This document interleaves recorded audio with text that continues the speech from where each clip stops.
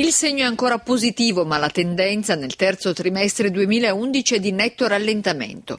La produzione industriale segna un più 0,2% in calo rispetto al trimestre precedente, più 2,2% la variazione tendenziale annua.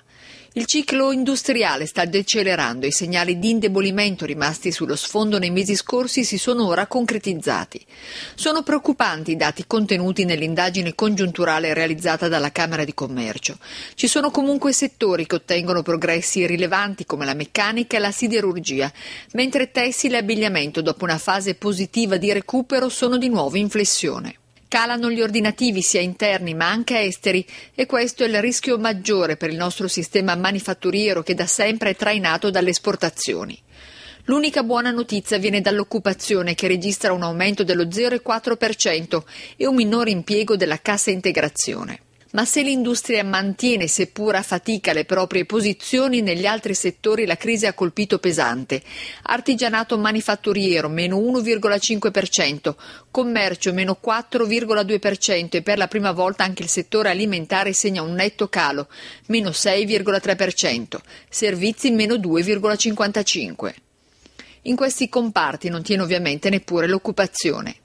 Le aspettative degli imprenditori bergamaschi virano in terreno negativo.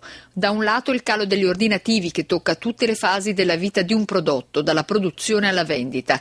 Dall'altro i timori sempre più fondati di un impatto ancora maggiore della crisi finanziaria sull'economia reale. Industria 0,2%, è significativo, anche perché effettivamente tutto quello che è l'esportazione tutto il resto è l'unica realtà con l'internazionalizzazione che tiene. Purtroppo le realtà piuttosto amare sono le altre. Il commercio al dettaglio in modo particolare meno 4,2 mentre la grande distribuzione meno 1,1.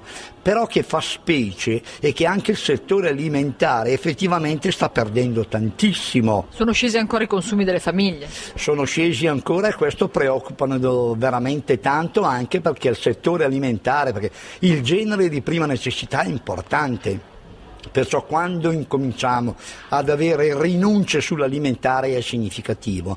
L'edilizia ha continuato ancora a produrre, a costruire, ma non vende.